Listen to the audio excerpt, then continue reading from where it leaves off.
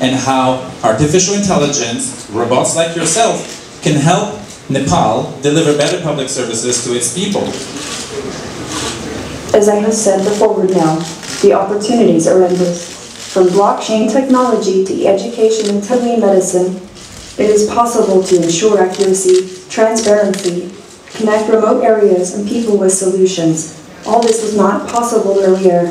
Technology will help Nepal achieve, well, I could be the first known human to climb Everest, but enough about me. Renaud, on the development and technology front, artificial intelligence can unlock innovation in numerous ways, help fight diseases, clean up the environment, do hazardous jobs that put human lives at risk. And it is also low-cost take, for instance, mobile technology and internet coverage. So many people in Nepal have smartphones with so many apps, and so many apps are free. So there is much we can do with little cost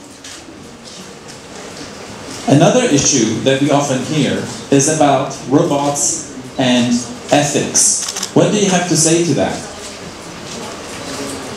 This is a human issue.